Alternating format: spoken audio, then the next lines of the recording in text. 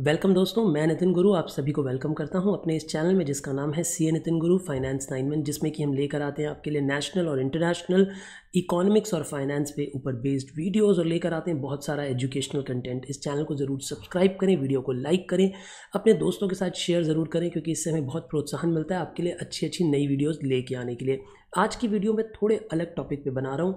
आज की वीडियो में आपको दो इंपॉर्टेंट ब्रांड्स एडिडास और प्यूमा की हिस्ट्री के बारे में समझाने के लिए बता रहा हूँ। और आप में से बहुत कम लोग जानते होंगे कि ये दोनों के दोनों जो ब्रांड्स हैं, वो एक ही परिवार से निकल के आए हैं। जी हाँ ये दोनों के दोनों ब्रांड्स दो भाइयों के हैं जो सगे भाई थे लेकिन कैसे इन ब्रांड्स का जन्म हुआ कैसे इनकी ग्रोथ हुई आइए जानते हैं।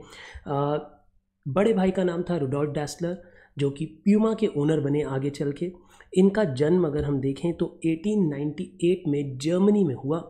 एक छोटा सा टाउन है हर्जोगनरिच नाम बड़ा टफ है भाई। इस टाउन में इनका जन्म हुआ, दो साल बाद इनके ब्रदर का जन्म हुआ, जिनका नाम था अडोल्फ टेस्लर जो कि आगे चल के एडिडास के मालिक बने। दोनों भाइयों के जो पिताजी थे, वो भी शू मेकिंग का काम करते थे। वही काम इन्होंने इनहेरिट किया, काम बहुत अच्छे से सीखा, बहुत स्किल वाइज अपने आप को इम्प्रोवाइज़ किया डेवलप किया नए नए तरह के शूज़ बनाने लगे, अपनी एक डैसलर शू कंपनी बनाई और वो कंपनी काफ़ी पॉपुलर होने लगी। काफ़ी मेहनत से इन्होंने उस पूरे एरिया में शूज़ सेलिंग के काम को नई ऊंचाइयों तक ले आए। जो छोटे भाई हैं, जिनका नाम एडोल्फ है ये बहुत इनोवेटिव माइंडसेट के थे, बहुत ज़्यादा इनोवेशंस करते थे शू की टेक्निक में। इनफैक्ट जो शूज़ में स्पाइक्स लगाए जाते हैं और उन पर स्क्रू लगाए जाते हैं, उसकी टेक्निक को भी इन्होंने ही डेवलप किया था ताकि जो रनर्स हैं वो ज़्यादा अच्छे से भाग पाएँ, जो फुटबॉलर्स हैं वो बहुत ग्रिप के साथ अपनी फुटबॉल के पीछे पीछे भाग पाएँ। और इनका ये मानना था कि नई तरह की इनोवेशंस करते रहना चाहिए। हर स्पोर्ट के लिए अलग तरह का शूज़ बन सकता है जो उस स्पोर्ट्स पर्सन को ज़्यादा मदद कर पाए।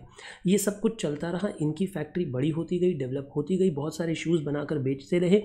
और लेकिन मेन प्रसिद्धि इन्हें, अगर मैं कहूँ कि मेन फ़ेमस डैसलर ब्रदर्स हो पाए जब जेस ओवेंस ने इनके शूज़ पहनने स्वीकार किए और इनके शूज़ पहन के उन्होंने चार गोल्ड मेडल्स जीते 1936 के ओलंपिक्स में। जी हाँ 1936 में अमेरिकन एथलीट थे जेस ओवेंस, उन्होंने इनके बनाए हुए शूज़ पहने और इनके शूज़ पहनने के बाद उन्होंने चार गोल्ड जीते। तो इससे क्या होता है, बहुत बड़ी एक एडवर्टाइजिंग हो जाती है कि इस कंपनी के शूज़ पहन के स्प्रिंटर ज़्यादा तेज़ भाग सकते हैं।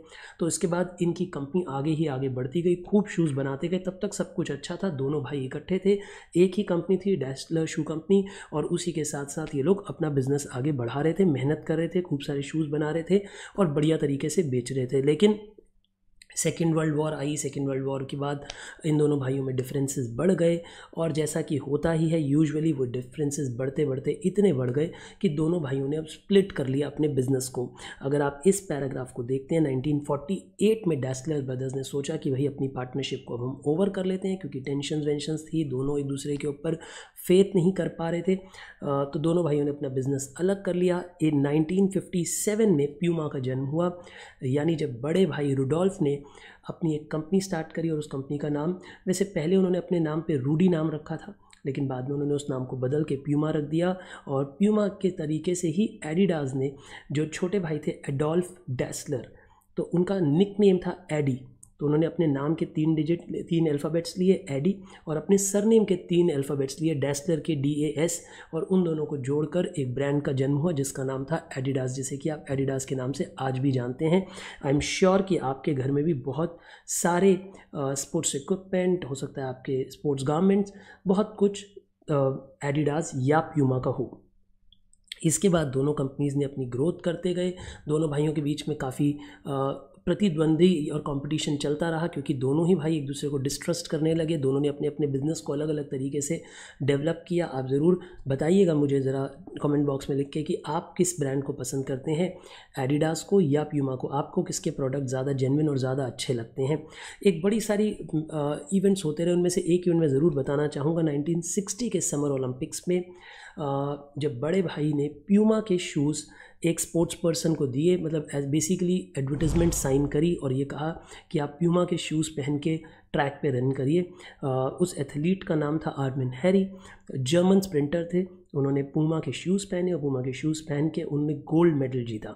लेकिन एक दिक्कत थी, उन्होंने जब गोल्ड मेडल जीता, उसके बाद जब वो पोडियम पे गए अपना मेडल पहनने तो उस वक्त उन्होंने एडिडास के शूज़ पहन लिए, क्योंकि उन्होंने दोनों भाइयों से पैसे लिए थे।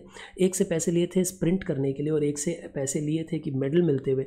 तो इसकी वजह से दोनों भाइयों के बीच में काफ़ी कहा सुनी हुई, काफ़ी मतलब बेसिकली और टेंशन बिल्डअप होती गई। इस इवेंट के बाद आप कह सकते हैं कि उनका दोबारा कभी इकट्ठा आना इम्पॉसिबल हो गया।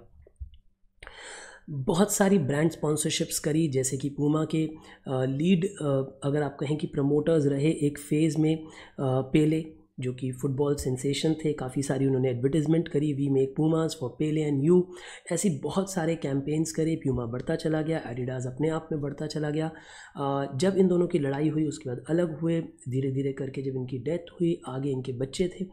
अब ये दोनों के ही दोनों बिजनेसेस जो हैं कॉरपोरेट्स बन चुके हैं, यानी कि जो इनके बच्चे थे, उनमें उन्होंने ज़्यादातर अपना स्टेक कंपनीज़ के रूप में बेच दिया है, अपना पैसा ले लिया है और कंट्रोलिंग बॉडीज़ अब कोई और हैं और ये लड़ाई इतनी इतनी इतनी पॉपुलर है इन दोनों की कि आज भी उस जर्मन टाउन में लोग ये देखते हैं कि दूसरे व्यक्ति ने कौन से शूज़ पहने हैं एडिडास के पहने हैं या प्यूमा के पहने हैं, क्योंकि वहाँ की ज़्यादातर परिवार या तो बड़े भाई के लिए रूडोल्फ डैसलर के लिए या अडोल्फ डैसलर के लिए काम करते थे तो वो जो टाउन है, वो आज भी इन्हीं शूज़ के फ्रंट पे बटा हुआ है। दो पार्ट्स हो रखे हैं। आप मुझे ज़रूर बताइएगा कि आपको कौन सा ब्रांड इन दोनों में से ज़्यादा भाता है, ज़्यादा पसंद आता जो छोटे भाई थे अडोल्फ उनकी कहा जाता है कि उन्होंने बहुत सारे पेटेंट्स अपने नाम पे कराए बहुत सारी नई टेक्नोलॉजी से शूज़ बनाए। इनफैक्ट पूमा ने भी बहुत सारी इन्वेंशंस करी बहुत सारे पेटेंट्स उन्होंने भी कराए पर दोनों का बिज़नेस बढ़ता रहा। पर क्योंकि हम लोग सीए लोग हैं हम लोग फाइनेंशियल एस्पेक्ट को जानने वाले लोग हैं तो आइए फाइनेंशियल एस्पेक्ट देखते हैं। आ, ये आपके सामने डेटा है 2006 से लेकर 2020 तक का और ये बिलियन यूरोज़ में है। ये बात याद रखें कि ये बिलियन डॉलर्स में नहीं है ये बिलियन यूरोज़ में है। तो बिलियन यूरोज़ में हम देखते हैं कि भाई किसकी कितनी सेल है। वैसे जो ऊपर वाली ब्लू लाइन है वो नाइकी की है। इसके बारे में मैं एक अलग वीडियो बनाऊँगा कि क्यों नाइकी एक एक लीडर है स्पोर्ट्स इंडस्ट्री में। पर अगर हम प्यूमा की बात करें तो 2019-20 में लगभग 23.64 बिलियन यूरोज़ और 19.8 बिलियन यूरोज़ यानी अप्रॉक्सीमेटली मैं कहता हूँ 20 बिलियन यूरो के आसपास की सेल है और वहीं पे प्यूमा की मैं कहूँ तो 5 बिलियन के आसपास की सेल है, यानी एडिडास लगभग चार गुना बड़ी कंपनी है इन टर्म्स ऑफ़ सेल्स अगर हम देखते हैं प्यूमा से। तो आप मुझे ज़रूर बताइएगा कि आपको कौन से शूज़ कंफर्टेबल लगते हैं और और अगर किसी अन्य ऐसे रोमांचक फाइनेंशियल टॉपिक पे अगर आप न्यूज़ सुनना चाहते हो, देखना चाहते हो तो ज़रूर मुझे कमेंट में लिखकर भेजिएगा। मैं पूरी कोशिश करूँगा कि उन टॉपिक्स के लिए भी आपके लिए नई नई नई वीडियोस लेकर आता रहूँ। ऑल द वेरी बेस्ट और इन वीडियोस को प्लीज़ शेयर कीजिएगा। चैनल ज़रूर सब्सक्राइब करिएगा। वीडियो को लाइक भी ज़रूर करिएगा। Take care bye bye